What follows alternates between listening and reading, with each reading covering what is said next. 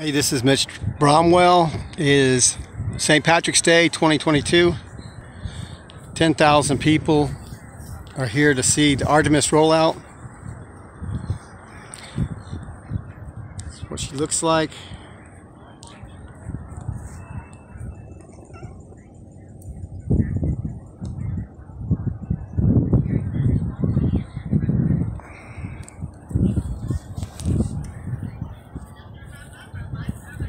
Mitch Bromwell. God bless you all and God bless America.